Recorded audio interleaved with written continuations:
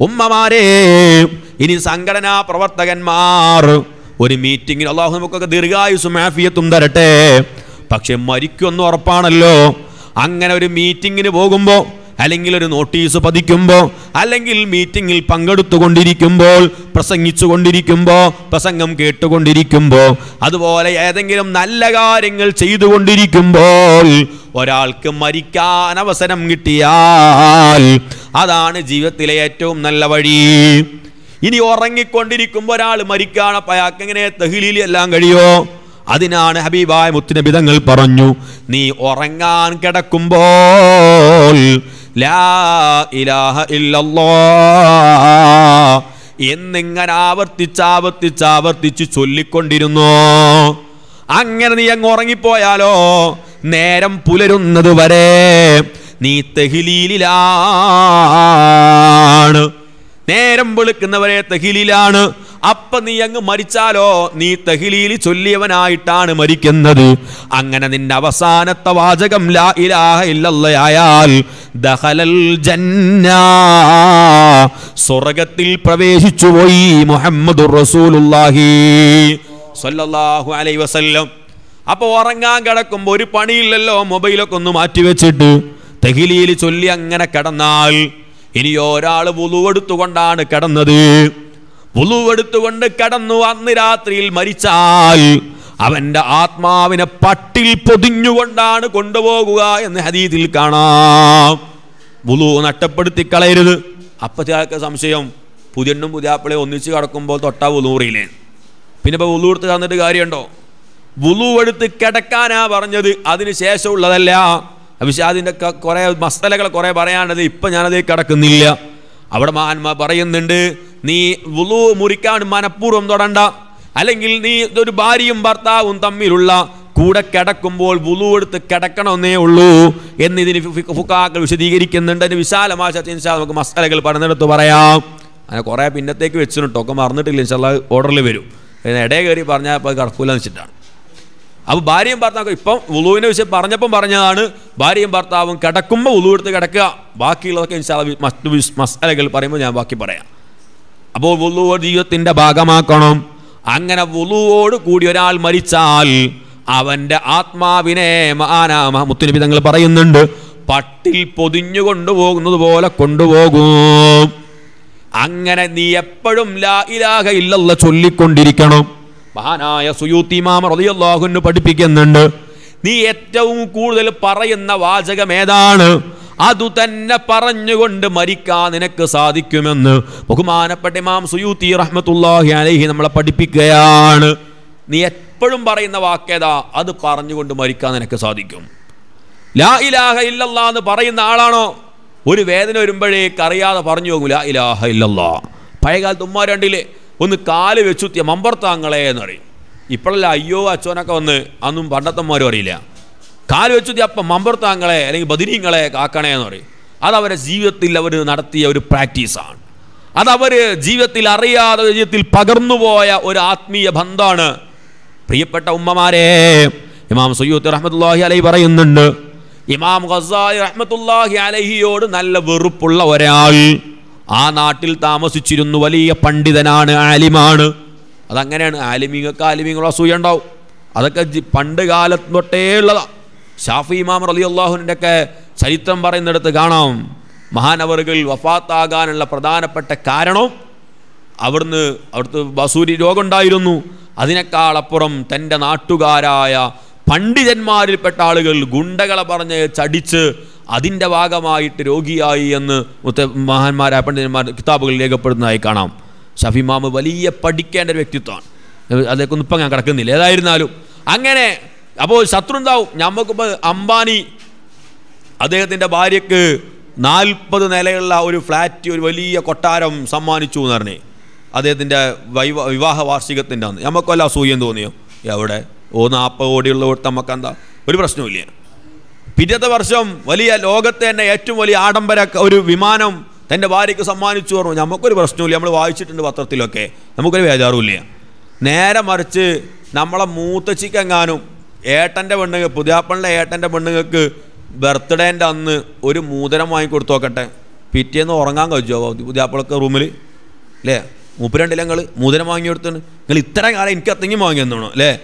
അതെന്താ? അതൊരു സ്വഭാവമാണ്. എന്നാൽ നേരെ മറിച്ച് ചിലപ്പോൾ ആ മൂത്തച്ഛന്റെ ഉള്ള മാലയും പണ്ട് മൊത്തം ഇയാൾ ഉണ്ടാവും മൂത്തച്ഛൻ. ആ കൊണ്ട് വിറ്റിട്ടുണ്ടാവും. എന്നിട്ട് രാഗര് അരപ്പാവന്റെ മൂതരം വാങ്ങിയെടുത്തുണ്ടാവും ചിലപ്പോൾ പക്ഷേ ഉറക്കം കിട്ടൂല.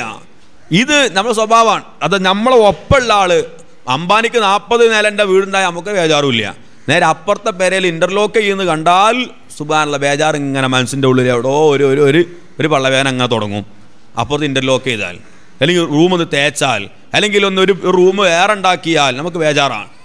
എന്നാൽ അപ്പോൾ അതങ്ങനെയാണ്. പണ്ഡിതന്മാർക്ക് പണ്ഡിതന്മാരുടെ അസൂയ ഉണ്ടാകും. എന്നതുപോലെ ബഹുമാനപ്പെട്ട ഗസാൽ ഇമാം റളിയല്ലാഹുവിനോട് അസൂയ മൂത്ത ഒരു നാട്ടിലുള്ള പണ്ഡിതൻ തന്നെ എപ്പോഴും എല്ലാവരോടും പറയും ഇമാം ഗസാലി കുരുത്തം കെട്ടവനാണ്. ഇതിങ്ങനെ പറയുകയാണ്. സുയുത്തുമാറുള്ളതാണ് പറയാം അങ്ങനെ അദ്ദേഹം യാത്ര പോകുന്നതിനിടയിൽ തന്റെ കുതിരപ്പുറത്ത് നിന്ന് തെറിച്ചു വീണു. കുതിരപ്പുറത്ത് നിന്ന് തിരിച്ചു വീണ് മരണാസന്നനായി കിടക്കുമ്പോൾ തന്റെ പ്രധാനപ്പെട്ട ശിഷ്യന്മാർ പലരും അടുത്തേക്ക് വന്നു. എന്നിട്ട് ചൊല്ലിക്കൊടുത്തു ഇലാഹ ഇല്ലല്ലാ തെഹിലിയിൽ ചൊല്ലിക്കൊടുത്തപ്പോൾ ഈ പണ്ഡിതന്റെ മറുപടി ഇമാം ഖസാലി കുരുത്തം കെട്ടവനാണ്. ഇതങ്ങ് പറഞ്ഞങ്ങ് മരണപ്പെട്ടുപോയി ലാ ഇലാഹ ഇല്ലല്ല ചൊല്ലാൻ പോലും അവസരം കിട്ടിയില്ല. എന്നിട്ട് പിന്നെയും മാനവൾ പറയുന്നുണ്ട് മറ്റൊരാൾ തന്റെ കാമുകിയെ കുറിച്ച് എപ്പോഴും ഇങ്ങനെ മധുഹ് പാടിയിട്ട് ഇങ്ങനെ നടക്കുകയാണ്. എപ്പോഴും സിനിമ ഗാനം പാടുകയാണ്. അന്ന് സിനിമയില്ല പക്ഷേ പ്രേമഗാനങ്ങളൊന്നുമുണ്ട് അങ്ങനെ പ്രേമഗാനം പാടി നടക്കുമ്പോൾ അങ്ങനെ അദ്ദേഹം അവസാനം മരിക്കുമ്പോഴും ആ മനുഷ്യൻ ഈ പ്രേമഗാനം പാടിയിട്ടാണ് കാമുകിയെക്കുറിച്ച് മധുഹു പറഞ്ഞിട്ടാണ്. ആ മനുഷ്യൻ മരണപ്പെട്ടത് എന്ന് ബഹുമാനപ്പെട്ട ഇമാം സുയൂത്തി റളിയല്ലാഹു അൻഹു അതുപോലെ കുർത്തുബി ഇമാം റളിയല്ലാഹു അൻഹു വിഷയം പറയുന്നുണ്ട്. പ്രിയപ്പെട്ട ഉമ്മമാരെ അപ്പം നമ്മളെ ജീവിതത്തിൽ നമ്മൾ ഏറ്റവും കൂടുതൽ പറയുന്ന വാചകം വചനമേതാണ്? വാചകമേതാണ്? അത് നമ്മളെ ജീവിതത്തിൽ മരിക്കുമ്പോഴും അവസാനം നമ്മൾ പറയാൻ ഏറ്റവും കാരണമാകുമെന്നാണ് പണ്ഡിതന്മാർ രേഖപ്പെടുത്തുന്നത്. അപ്പൊ നമ്മൾ എപ്പോഴും പറയേണ്ട വാചകം ലാ ഇലാഹ ഇല്ലല്ലാഹ് ഇതൊരു ദിവസം നമുക്ക് എത്ര കഴിയോ ഭക്ഷണം പാകം ചെയ്യുമ്പം പറയാം. നമുക്ക് അലക്കുമ്പോൾ പറയാം. അങ്ങനെ നജസല്ലാത്ത ഏത് സ്ഥലങ്ങളിൽ നിന്നും അലക്കുമ്പോഴും കുളിക്കുമ്പോഴും ഒക്കെ പറയാം. അങ്ങനെ എല്ലാ സ്ഥലങ്ങളിലും ബാത്റൂം എല്ലാ സ്ഥലങ്ങളിലൊക്കെ പറയാം ബാത്റൂമിൽ മസലകളൊക്കെ ഇനി അവിടെയും കുറേ പറയാനുണ്ട്. എല്ലാ ബാത്റൂമിലും ചൊല്ലാൻ പറ്റുമോ പറയാൻ പറ്റുമോ? അതൊക്കെ ഇൻഷാല്ല നമുക്ക് അവസരത്തിനനുസരിച്ച് നമുക്ക് വിശദീകരിക്കാം. അങ്ങനെ നിങ്ങൾക്ക് എല്ലാ കാര്യം ചെയ്യുമ്പോഴും ലാ ഇലാഹ ഇല്ലല്ലാ ദിക്കർ നമ്മളെ നാവിന് പ്രാക്ടീസ് ആവണം. അത് നമ്മളെ നാവിനെ ഏത് പ്രയാസം വരുമ്പോഴും നെഞ്ചിനൊരു വേദന വന്നാൽ കാലിനൊരു വേദന വന്നാൽ അറിയാതെ നമ്മളെ നാവിൽ നിന്ന് വരണം. ലാ ഇലാഹ ഇല്ലല്ലാ.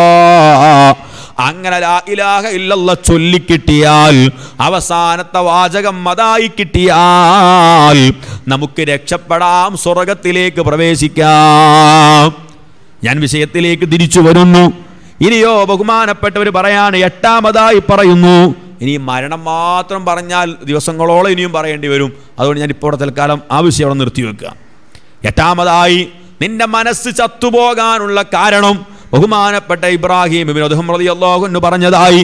ഷഖീഖുൽ ബൽഖി റളിയല്ലാഹു അൻഹു പറയുകയാണ്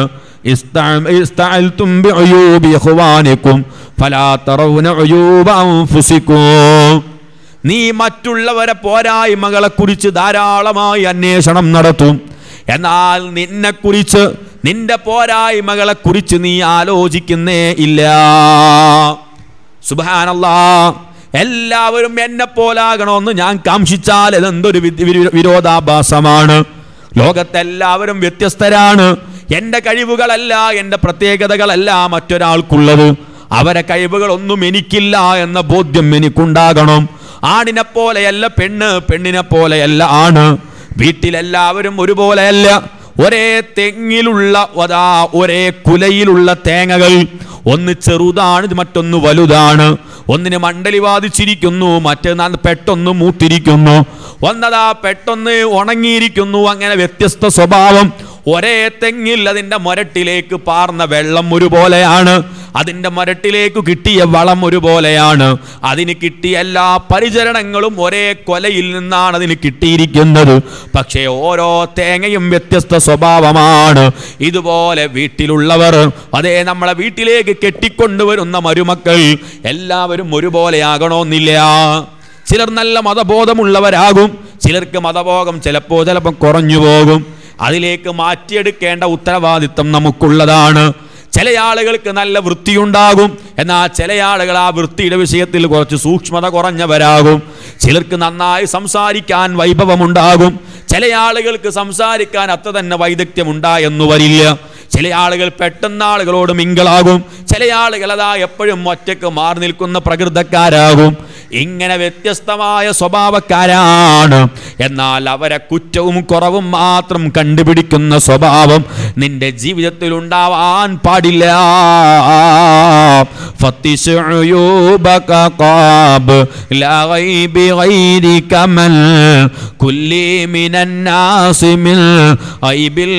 സലിമാ.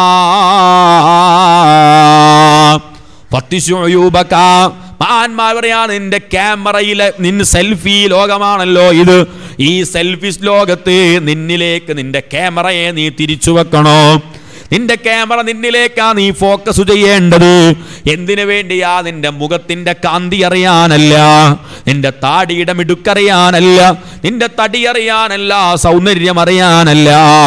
മറിച്ച് എന്റെ ജീവിതത്തിൽ വന്നു പോകുന്ന ന്യൂനതകളെ കുറിച്ചറിയാൻ എന്റെ പോരായ്മകളെ കുറിച്ചറിയാൻ എന്റെ പ്രശ്നങ്ങളെ കുറിച്ചറിയാൻ. നിന്റെ ന്യൂനതകളെ നീ ചികഞ്ഞന്വേഷിക്കണം. എന്റെ ഓരോ കുറവുകളെ കുറിച്ചും നീ ചികഞ്ഞന്വേഷിക്കണം എന്നിട്ടോ മാൻ പറയാണ് സലിമാ. അങ്ങനെ ഒരു തെറ്റും ചെയ്യാത്ത ഒരാൾ ലോകത്തുണ്ടെങ്കിൽ അവനെ എനിക്കൊന്ന് പരിചയപ്പെടുത്തി തരൂ.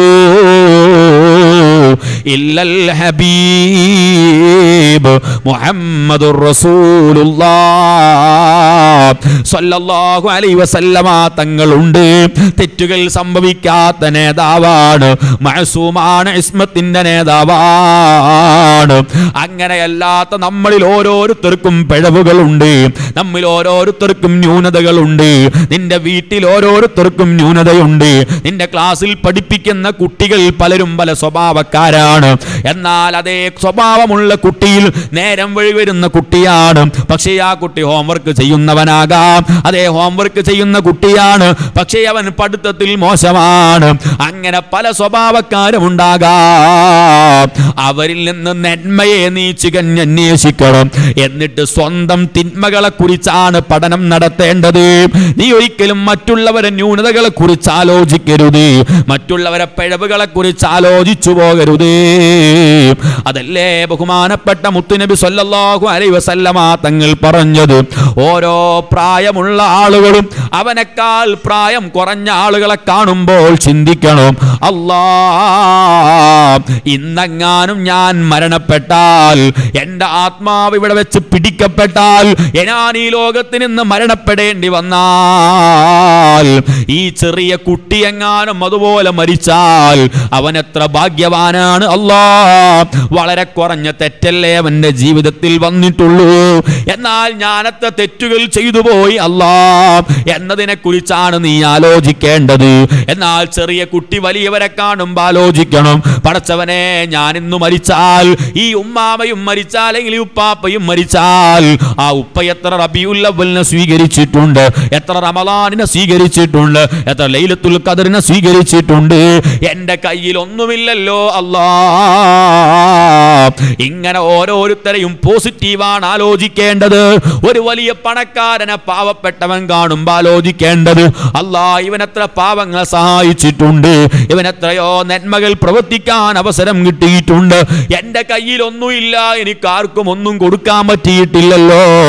അതുകൊണ്ട് അവനൊക്കെ സ്വർഗത്തിൽ പോയാലും ഞാനെപ്പോഴാണ് പോവുക എന്നാലോചിക്കണോ പണക്കാരൻ പാവപ്പെട്ടവനെ കാണുമ്പോഴോ പടച്ചവനെ നാളെ ഞാൻ എന്റെ റബ്ബിന്റെ മുമ്പിലെത്തുമ്പോൾ എന്റെ കണക്കുകൾ മുഴുവനും ബോധ്യപ്പെടുത്തിയിട്ട് ഞാൻ സ്വർഗത്തിൽ പോകണമെങ്കിൽ എത്ര സമയം പിടിക്കുമല്ല? എന്നാൽ ഈ പാവപ്പെട്ടവൻ എത്ര പെട്ടെന്നവന്റെ കണക്കുകൾ പറഞ്ഞു തീർക്കും എത്ര പെട്ടെന്നവന്റെ റിക്കാർഡുകളൊക്കെ പൂർത്തിയാകും. അതുകൊണ്ട് അവൻ എത്ര ഭാഗ്യവാനാണ്? ഇങ്ങനെ നീ മറ്റുള്ളവരെ കുറിച്ച് നന്മകളെ ആലോചിക്കാൻ പാടുള്ളൂ. അതാണ് മുത്തുനബി തങ്ങൾ മനുഷ്യൻ ചീത്തയാവാനുള്ള നാലു കാരണങ്ങൾ പറഞ്ഞെടുത്ത് നാലാമതായി പറയുന്നു നീ അതാ അന്നലുറു ഇലാമൻ ഫൗഖഹു ഫിദ്ദുന്യാ ഇലാമൻ ദൂനഹു ഫിദ്ദീൻ. ഒരു മനുഷ്യൻ ചീത്തയാവാനുള്ള നാലാമത്തെ കാരണമായി മുത്തുനബി തങ്ങൾ പറഞ്ഞത്. അവൻ ദുനിയാവിന്റെ വിഷയം വരുമ്പോൾ അവനേക്കാൾ മുകളിലുള്ളവരിലേക്കാണ് അവൻ നോക്കുന്നത്. എന്നാൽ ആഹ്റത്തിന്റെ കാര്യം വരുമ്പോഴോ തന്നെക്കാൾ താഴെ ഉള്ളവരിലേക്ക് നോക്കുന്നു. തന്നെക്കാൾ താഴെയുള്ളവരിലേക്കാണ് നോക്കുക. ഫർൾ നിസ്കരിക്കുന്ന ആൾ എങ്ങോട്ടാണ് നോക്കേണ്ടത്? പറച്ചോനെ ഞാൻ ഫർളല്ലേ നിസ്കരിക്കുന്നുള്ളൂ. എന്നാൽ എന്റെ കൂടെയുള്ള ആൾ സുന്നത്ത് നിസ്കരിക്കുന്നുണ്ടല്ലോ. അവനും ഞാനും പോകേണ്ടത് ഒരേ ഒരേ സ്വർഗത്തിലേക്കാണല്ലോ. എന്ന ആലോചനയാണ് നമ്മുടെ മനസ്സിലുണ്ടാവേണ്ടത്. നമ്മൾ ചിന്തിക്കൽ എങ്ങനെ? ഏ ഞാൻ കുറാം ക്ലാസ്സിനൊക്കെ പോകേണ്ടല്ലോ. ഓൾ കുറാം ക്ലാസ്സിനും കൂടി വരില്ല എന്ന് പറയാം. നമ്മൾ നേരെ ഓപ്പോസിറ്റ് നമ്മൾ ആലോചിക്കുക അങ്ങനെ ആലോചിക്കാൻ പാടില്ല. നമ്മൾ നെഗറ്റീവ് അല്ല പോസിറ്റീവാണ് ഓരോരുത്തരെ കുറിച്ചും ആലോചിക്കേണ്ടത്. അപ്പൊ പ്രിയപ്പെട്ട ഉമ്മമാരെ നമ്മൾ സ്വന്തം പിയവുകളെ കുറിച്ച് ആലോചിക്കണം. എന്റെ മക്കളെ കുറിച്ച് ആലോചിക്കണം. ചില സ്ഥലങ്ങളിലൊക്കെ പള്ളികളിൽ ചില ആളുകൾ ഉണ്ടാകും സുബാനല്ല ഇവിടെ നിന്ന് അങ്ങനത്തെ ആൾക്കാരുണ്ടാവില്ല ഞാൻ മനസ്സിലാക്കുന്നു. പള്ളി വന്ന ഏതെങ്കിലും ചെറുപ്പക്കാരൻ വന്നാൽ ആദ്യം കണ്ടില്ല അവന്റെ മുടിയ ഓട പള്ളിക്കട വന്നിട്ടാൽ മതി അല്ലേ? അത് പറഞ്ഞ ആൾക്കാരുണ്ടാവും. അവനോട്ട് വന്നവന്റെ കാ താടി മുടിയൊക്കെ. ആദ്യം പള്ളിക്കൊന്ന് വരട്ടെ എന്നിട്ടല്ലേ അവൻ ഉപദേശിക്കൽ. എന്നാൽ ആദ്യം തന്നെ കുറ്റപ്പെടുത്തിയിട്ട് പള്ളിയിൽ നിന്ന് അകറ്റിക്കളയുന്ന ആളുകൾ. പ്രിയപ്പെട്ട ഉമ്മി ഉമ്മമാരെ നമ്മളെ മക്കൾ ഒരു ദിവസം ഒരു മീറ്റിങ്ങിന് പോകുമ്പോൾ എന്താ അടുത്ത ഡയലോഗ് എന്താ വരൽ? ആ സുബേഷ് അതങ്ങനെ കടന്നു മീറ്റിങ്ങിന് അങ്ങനെ പോയാൽ മതി അല്ലേ നമ്മളെ ബാലന്മാർ പറഞ്ഞ വർത്താന. ശരിയാണോ ചെയ്തത്? ഓൽ ചെയ്ത് ശരിയൊന്നും അല്ല സുബേഷ് കഥ കടന്നു തുടങ്ങിയ മീറ്റിങ്ങിലോട്ട് കാര്യമില്ല. അത് വേറെ വിഷയം. പക്ഷേ അവൻ ആ മീറ്റിങ്ങിലൂടെ മാറ്റം വരണം. അതിനവന്റെ പോസിറ്റീവിനെ കാണണം ആദ്യം. അവന്റെ നന്മകളെ കുറിച്ചാ നീ അവനോട് പറയേണ്ടത്. മോനെ നീ മീറ്റിങ്ങിനൊക്കെ പോകുന്നുണ്ടല്ലോ. അതിന് അതൊരു മഹത്വമായിട്ട് അവനെ ബോധ്യപ്പെടുത്തണം. അങ്ങനെ വേണം എത്ര ആൾക്കാരുണ്ട് എസ് എഫിലും ഇല്ല എസ് ബി എസിലും ഇല്ല ഏതായാലും ഇന്ത്യട്ടി ഏതായാലും എസ് ബി എസിലൊക്കെ എസ് എഫിലൊക്കെ പ്രവർത്തിക്കുന്നുണ്ടല്ലോ. അതിന് എനിക്ക് ഉമ്മാക്ക് കാണുമ്പോൾ വല്ലാത്ത സന്തോഷമാണ് അത് വെച്ചാൽ സുബൈക്കും കൂടി പള്ളിയിൽ പോയി കിട്ടിയാൽ എനിക്ക് ഉമ്മാക്ക് വേറെ ഒന്നും വേണ്ട. എന്ന് പറഞ്ഞു നോക്കി നിങ്ങൾ നേരെ മറിച്ച് ഏ ഇംഗുലാബ് ഇങ്ങനെ വിളിച്ചാൽ മതി. എസ് എഫ് ഇങ്ങനെ ആലും ഇങ്ങനെ വിളിച്ച് നടന്നാൽ മതി. നിസ്കാരം വേണ്ട കല്യാണത്തിനും പോകണ്ട അതൊക്കെ പറയില്ലേ അപ്പോൾ അടുത്തൊരു ഒരു കുട്ടി വരാതി പറഞ്ഞാൽ ഉമ്മച്ചി ഇങ്ങനെ പറയാം കല്യാണത്തിന് എന്തോ മീറ്റിംഗ് പോയാൽ കല്യാണത്തിന് പോയില്ലോ? അതിന്റെ പേരിൽ പിന്നെ ഒന്നും വിടൂല എന്നാണ്. അപ്പോൾ ഏതൊരു കുട്ടിയുടെയും പോസിറ്റീവിനെ കാണാൻ കഴിയണം? മഹാനായ മഹാപണ്ഡിതന്മാർ പിന്നെയും പറയുന്നതായി ബൈത്തിലൂടെ പറയുന്നു വലാത്ത ബിംബിൽ ജുറൂഹി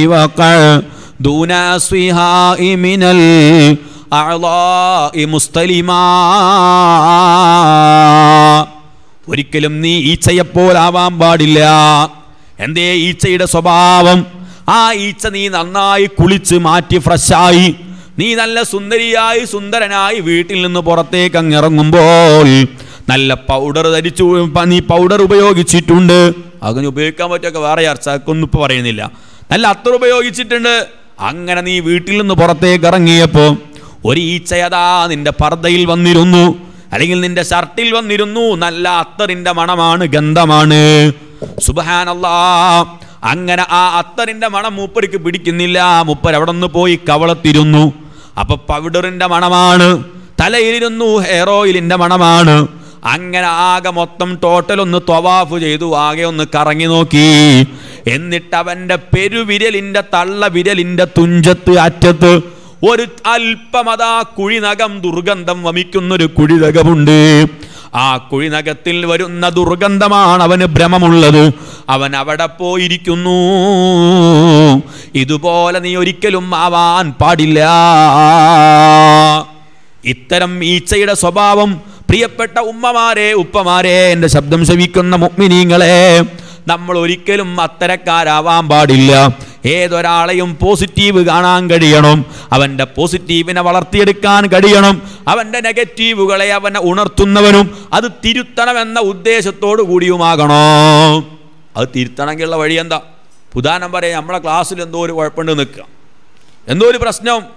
അയൽപക്കത്തൊക്കെ പോയി പറഞ്ഞു നിൽക്കുക ഒരു ഇവിടുത്തെ വായക്കാർത്തന്മാർ അങ്ങനെ ചെയ്യൂലേ. അങ്ങനെ പറഞ്ഞു എത്തല്ലെങ്കിൽ ആ മൂല്യാർ ഇങ്ങനെ പറയത്ത അതിനൊരു കാര്യമുള്ളത്. ഇങ്ങനെ പണ്ടൊരു കാര്യമുണ്ടോ? ഇതാരാ തിരുത്തേണ്ടത്? അയൽവാസിയായ പാത്തുമാത്ത തിരുത്തിയ ഇവിടുത്തെ വയലു മാറുമോ ഇല്ല. തിരുത്തണമെങ്കിൽ ബഷീർ മാഷോട് പറയണം. അല്ലെങ്കിൽ അങ്ങനത്തെ നമ്മുടെ സംഘാടകരോട് പറയണം. എന്നിട്ട് അവർ എന്നോട് പറയണം. അപ്പം ഞാനാ തിരുത്തുക. ഇതുപോലെ നമ്മളെ വീട്ടിൽ മരുമകൾക്ക് വല്ല പ്രശ്നമുണ്ട്? ആരോടാ പറയേണ്ടത്? മരുമകളാണോണ് പറയേണ്ടത്? അല്ലെങ്കിൽ അവളോട് അവളെ ഓർമ്മപ്പെടുത്തേണ്ട അവളെ ഭർത്താവിനോടാണ് ഓർമ്മപ്പെടുത്തേണ്ടത്? എല്ലാ കുറ്റം പറയണമെന്നല്ല. അതോടൊപ്പം വല്ല തിരുത്തേണ്ട പിഴവാണെങ്കിൽ തിരുത്തേണ്ട രൂപത്തിലാണ് തിരുത്തേണ്ടത്. ആ തെറ്റു സംഭവിച്ച ആളുകളോടാണ് ആ കുറ്റം പറയേണ്ടത്. എന്നിട്ട് അവരെയാണ് മാറ്റേണ്ടത് അതാണ് നന്മ ഉദ്ദേശിക്കുന്നവർ ചെയ്യേണ്ട പണി. പ്രിയപ്പെട്ട ഉമ്മമാരെ അപ്പോൾ നമ്മൾ ഒരിക്കലും നമ്മളെ നന്മകൾ കാണുന്നതിനു പകരം നമ്മളെ തിന്മകൾ അന്വേഷിക്കുന്നതിനു പകരം മറ്റുള്ളവരെ തിന്മകൾ ആലോചിച്ചു പോകരുത്. അങ്ങനെ അതിനു വേണ്ടി നമ്മൾ സമയം നഷ്ടപ്പെടുത്തി കളഞ്ഞാൽ നമുക്ക് നമ്മളെ തിരുത്താൻ സമയം കിട്ടിയെന്നു വരില്ല. അത് നമുക്ക് ഏറ്റവും വലിയ അപകടമായി പരിണമിച്ചേക്കാം. അതുകൊണ്ട് പ്രിയപ്പെട്ട ഉമ്മമാർ ഞാൻ വിഷയം ഞാൻ അവസാനിപ്പിക്കുകയാണ്. ഇനി നീട്ടിക്കൊണ്ടു പോകുന്നില്ല. അപ്പോൾ ബഹുമാനപ്പെട്ട ഇബ്രാഹിം റളിയല്ലാഹു അൻഹു ഒരു മനുഷ്യൻ ചീത്തയാവാനുള്ള പ്രധാനപ്പെട്ടവന്റെ പ്രാർത്ഥനകൾ സ്വീകരിക്കാതിരിക്കാനുള്ള കാരണമായി തന്റെ മനസ്സ് ചത്തുപോകാനുള്ള കാരണമായി ഓർമ്മപ്പെടുത്തിയത്. അദ്ദേഹം എട്ടാമതായി പറഞ്ഞു നീ മറ്റുള്ളവരെ കുറിച്ച് ആലോചിക്കുകയും എന്നാൽ നിന്നെ കുറിച്ച് ആലോചിക്കാതിരിക്കലുമാണ്. ഇത് ഏറ്റവും വലിയൊരു അപകടമാണ്. ഇൻഷാല്ല അതും കുറേ വിഷയങ്ങളിനും പറയാനുണ്ട്. ഇനി ഒമ്പതാമതായി പറയുന്നു ഇൻഷാല്ല പന്ത്രണ്ട് മണിക്ക് അവസാനിപ്പിക്കണം. എത്തനാപുരത്ത് പരിപാടിക്കും ഉള്ളതുകൊണ്ട് കൊണ്ട്. പക്ഷേ പന്ത്രണ്ട് മണിക്ക് അവസാനിപ്പിക്കും. ഒന്നര മണിക്കൂർ. ഇൻഷാല്ല അപ്പോൾ മഹാനവൾ പറയാണ് ഒമ്പതാമതായി പറഞ്ഞു അക്കൽത്തും തും വലം അള്ളാഹുവിന്റെ എല്ലാ അനുഗ്രഹങ്ങളെയും നീ ഭക്ഷിക്കുന്നുണ്ട്. എന്നാൽ ആ അള്ളാഹുവിനോട് നീ നന്ദി കാണിക്കുന്നില്ല. പറയുന്നത് നാട്ടുകാരോടാണെങ്കിലും നമ്മളെ നെഞ്ചിൽ കുത്തേണ്ട ഒരു മറുപടിയാണ് ബഹുമാനപ്പെട്ട ഇബ്രാഹിം അദ്ദേഹം അൻഹു പറയുന്നത്. നിങ്ങൾ അള്ളാഹുവിന്റെ നിഅമത്തുകളെ എല്ലാ സമയത്തും തിന്നുകൊണ്ടിരിക്കുന്നുണ്ട്.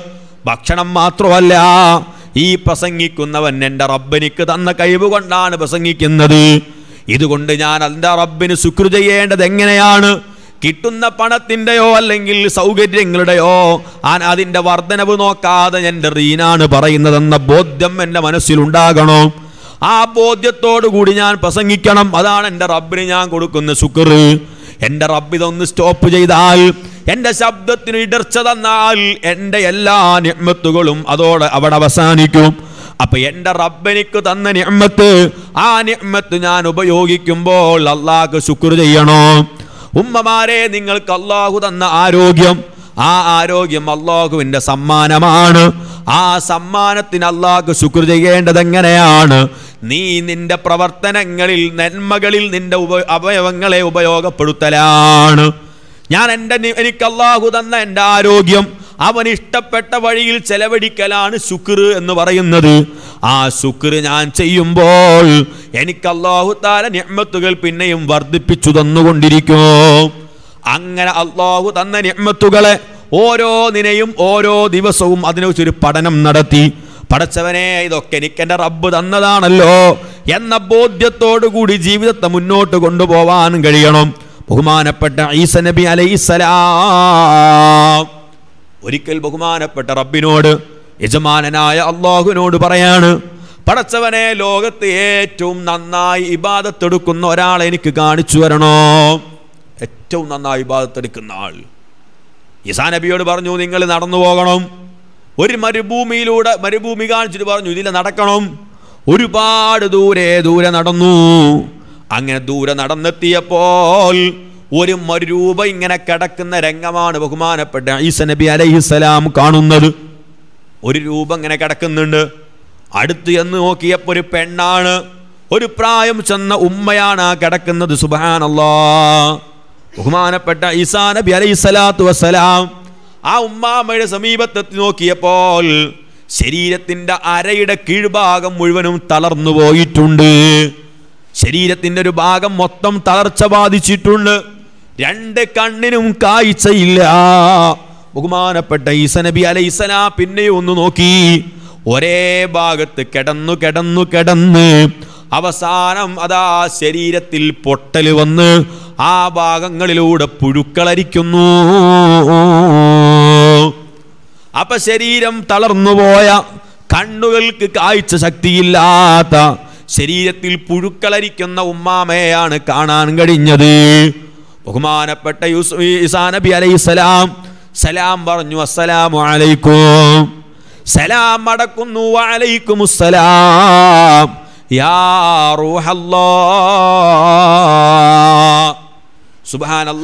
ഇതുവരെ ഈസ നബിയെ കണ്ടിട്ടില്ല. ഈസാ നബിയുടെ ശബ്ദം കേട്ടിട്ടില്ല. ഒരു പരിചയവും ഇല്ല. പക്ഷേ സഞ്ഞപ്പോഴേക്ക് മറുപടി വരുന്നു വാലൈക്കും സലാം യാ റൂഹല്ലാ അപ്പാ ഉമ്മയുടെ സ്ഥാനം എത്രയാണ്? മറഞ്ഞ കാര്യങ്ങൾ അറിയാനുള്ള കഴിവ് പോലും അള്ളാഹു താല കൊടുത്ത മഹതിയാണ്. ബഹുമാനപ്പെട്ട ഈസ നബി ചോദിച്ചു അല്ലയോ ഉമ്മ നിങ്ങളെ ശരീരഭാഗം മറന്നേ തളർച്ച ബാധിച്ചതിൽ നിങ്ങൾക്ക് വിഷമോ ഇല്ലേ? സങ്കടമില്ലേ? ഉടനെ ഉമ്മാന്റെ മറുപടി ഈസാ നബിയെ ഞാൻ എന്തിനാണ് വിഷമിക്കുന്നത്? ഞാൻ എന്തിനാണ് സങ്കടപ്പെടുന്നത്? എന്റെ കാൽ എന്റെ റബ്ബല്ലേ എനിക്ക് തന്നത്? ഞാൻ ചോദിച്ചിട്ട് തന്നതല്ല അവന്റെ ഔദാര്യമാണ് അവൻ തന്നത് എനിക്ക്. ആ ഔദാര്യം ഞാൻ ഇത്രയും കാലം ഉപയോഗിച്ചു. അവൻ ഇഷ്ടപ്പെട്ടപ്പോൾ അവൻ അത് തിരിച്ചെടുത്തു. ഞാൻ എന്തിനാണ് സങ്കടപ്പെടുന്നത്? അവൻ തന്ന കണ്ണെ ചോദിക്കാതെ തന്നു. അവൻ അവന്റെ ഇഷ്ടപ്രകാരം തിരിച്ചെടുത്തു. ഞാൻ എന്തിനാണ് സങ്കടപ്പെടുന്നത്? എന്നാൽ അപ്പോഴും ആ ഉമ്മ ചൊല്ലുന്ന ദിക്കർ അൽഹംദുലില്ലാ ഈ ദിക്കറാണ് ചൊല്ലിക്കൊണ്ടിരിക്കുന്നത്. യേശു നബി ചോദിച്ചു പ്രിയപ്പെട്ട ഉമ്മ ഇത്രയൊക്കെ പ്രയാസം സഹിച്ചിട്ടും നിങ്ങൾ അള്ളാനെ സ്തുതിക്കുന്നതിന്റെ പൊരുൾ എന്താണ്? ആ സമയത്ത് ഉമ്മ പറഞ്ഞ മറുപടി ഈസാ നബിയേ എന്റെ റബ്ബന്റെ കാൽ തളർത്തിക്കളഞ്ഞതിനു പകരം എന്താനും തളർത്തിക്കളഞ്ഞിരുന്നെങ്കിൽ എനിക്ക് ലാ ഇലാഹ ഇല്ലല്ലാ എന്ന ദിക്കർ ചൊല്ലാൻ പറ്റുമോ? എന്റെ റബ്ബങ്ങാനും എന്റെ ഈ ബുദ്ധി ഇപ്പോഴുള്ള ബുദ്ധി നഷ്ടപ്പെടുത്തി കളഞ്ഞിരുന്നെങ്കിൽ എന്റെ റബ്ബന്റെ ബുദ്ധി എങ്ങാനും എടുത്തു കളഞ്ഞിരുന്നെങ്കിൽ എനിക്കെന്റെ റബ്ബിനെ സ്തുതിക്കാനും ചിന്തിക്കാനും കഴിയുമായിരുന്നോ? അതുകൊണ്ട് ഈ രണ്ട് നിമ്മത്തുകളും നിലനിർത്തി തന്ന അല്ലാ അൽഹംദുലില്ലാ പ്രിയപ്പെട്ട ഉമ്മമാരെ അപ്പൊ ശുക്രാണ് ഏറ്റവും പ്രധാനം. ഇമാം യാഫി തന്റെ ഇർഷാദിൽ രേഖപ്പെടുത്ത ചരിത്രമാണിത്. ഞാൻ പറഞ്ഞു വന്നത് ഇങ്ങനെ അള്ളാഹുവിനെ നന്ദി ചെയ്യുന്നവരാകണം. ശുക്ർ ചെയ്യാത്ത നന്ദി കെട്ട വർഗത്തിൽ നമ്മൾ പെട്ടുപോകാൻ പാടില്ല. അള്ളാഹു നമ്മൾ നന്ദിയുള്ള അടിമകളിൽപ്പെടുത്തി അനുഗ്രഹിക്കുമാറാവട്ടെ. ഇനിയും കുറേ പറയാനുണ്ട്. ബാക്കി ഭാഗങ്ങൾ പറയാം. അപ്പോൾ അവസാനമായി നമ്മൾ സുന്നത്തുകൾ സാധാരണ പറയാറുണ്ട്. ഒന്ന് ഒന്നാമത്തെ പിന്നെ വസ്ത്രം ധരിക്കും അത് കഴിഞ്ഞാൽ ഇടതു കൈയിന്റെ ചെറുവിരൽ മുതൽ പെരുവിരൽ വരെ. ചെറുവിരൽ മുതൽ വലിയരൽ വരെ കണ്ടിന്യൂ ആയി മുറിക്കുക.